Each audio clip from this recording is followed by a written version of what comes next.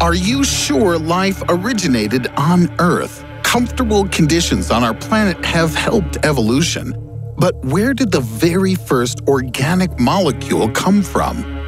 A stunning finding could break the whole idea of life in the universe wide open. Researchers have been able to detect complex sugars, the most important components of living organisms, in meteorites.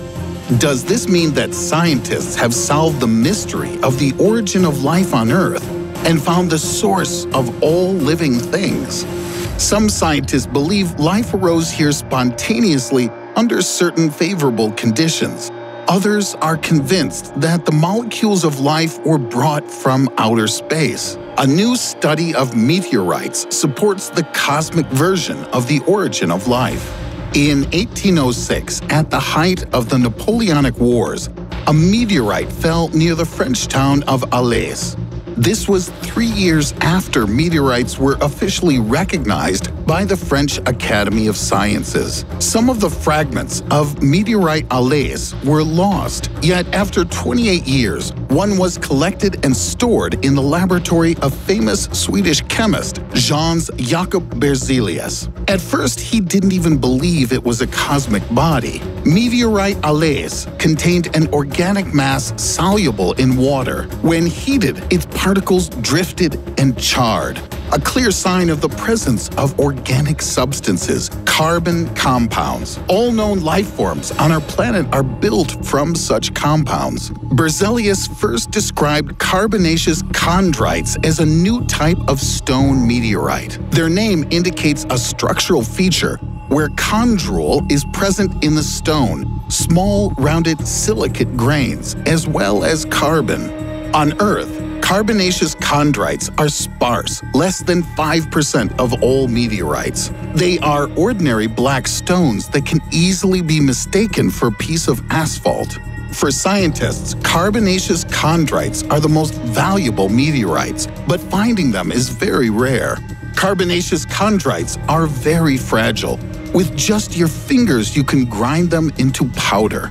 Therefore, they're easily destroyed traveling through Earth's atmosphere. Once they hit the planet, meteorites, as a rule, disappear without a trace, mixing with terrestrial rocks. It's no surprise that only two dozen carbonaceous chondrites have been found and preserved in the world.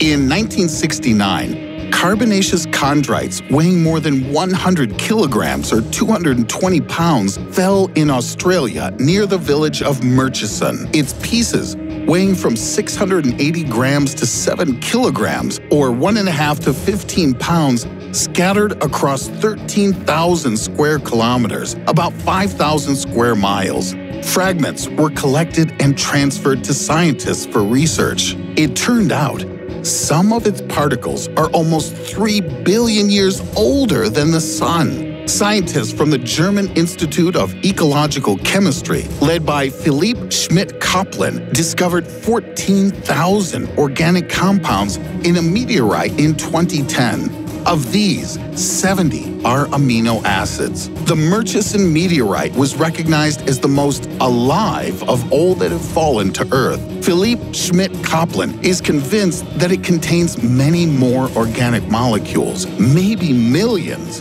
But so far, scientists haven't found them all due to limited means.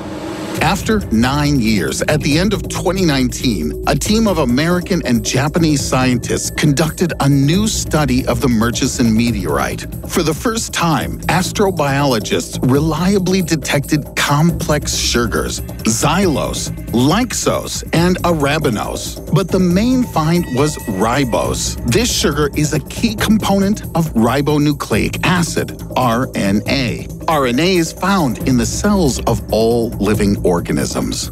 It serves as an intermediary, copying genetic information from DNA and transmitting it for protein synthesis. Ribose was also found in another carbonaceous chondrite, discovered in Africa in 2001. Research leader Yoshihiro Furukawa of Tohoku University believes extraterrestrial ribose could have led to the formation of RNA molecules and the origin of life on Earth. Found in meteorites older than the Sun, it can be assumed such celestial bodies could have supplied organic molecules to Earth at the birth of the solar system. Remember, organic compounds have been found in meteorites before, including sugar, though each time these discoveries were criticized in the scientific world. Some argued that the samples could be contaminated with organic matter from Earth. Therefore, scientists led by Yoshihiro Furukawa had to not only detect ribose, but also prove its extraterrestrial origin. Key evidence was the isotopic composition of carbon. It's known that earthly life prefers light carbon 12 to heavier carbon 13. Here, analysis showed that sugar from the meteorites was never part of living cells. To confirm their results, scientists are awaiting the return of space missions to asteroids Bennu and Ryugu They'll deliver soil from the surfaces of these cosmic bodies. Both asteroids are carbonaceous chondrites. The American interplanetary station OSIRIS-REx was sent to asteroid Bennu in 2016. In August 2020, it will take soil from its surface and in 2023 deliver it to Earth. Samples from another asteroid, Ryugu, are already on their way to Earth on Japanese spacecraft Hayabusa 2. It's expected on Earth at the end of 2020. Soil from both asteroids may contain organic molecules. Since they'll be delivered to Earth by spacecraft, the risk of them mixing with organic terrestrial substances has been eliminated. Scientists will get clean samples. But where did complex sugars in space come from? An international team of researchers has answered this. Experts calculated the chemical reaction in the formation of organic molecules that could occur in space on the surface of asteroids. By reproducing this, scientists obtained a sugar composition similar to those in meteorites. However, astrophysicists have long been finding organic molecules in cosmic space. Thanks to spectral analysis, they found organic compounds on Mars, methane ice on Pluto, and methane, ethane, and even acetylene on Saturn's largest satellite, Titan. But the discovery of organic matter in space does not indicate the existence of life on these objects. Such molecules can form from chemical reactions without living organisms. However, the detection of ribose in meteorites could be the key to determining the origin of life on Earth. Perhaps we'll find out what started it all. At the heart of life on Earth are DNA and RNA macromolecules, nucleic acids, as well as proteins.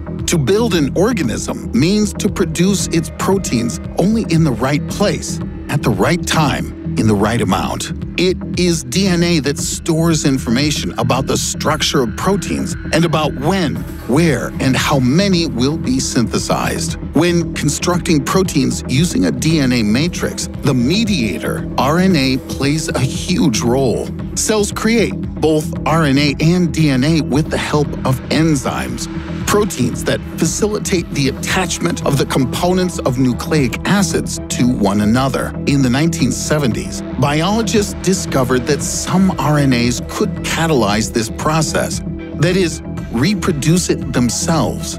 So, the hypothesis of the RNA world arose. According to this theory, at the dawn of life, RNA copied itself and did so without protein.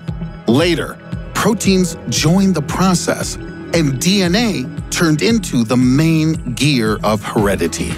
The detection of ribose in meteorites was another argument in favor of this idea regarding the development of life on Earth.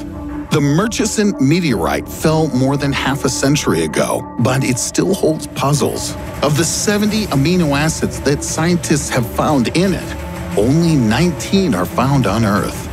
What if the biggest discoveries are yet to come, and we finally understand how life appeared and how much of it is in the universe? Perhaps this one small molecule arriving on a meteorite is enough. And what version of the origin of life on Earth do you adhere to? If you like the video, give it a thumbs up. Don't forget to subscribe to the channel and click on the bell to be notified of new videos. Until next time.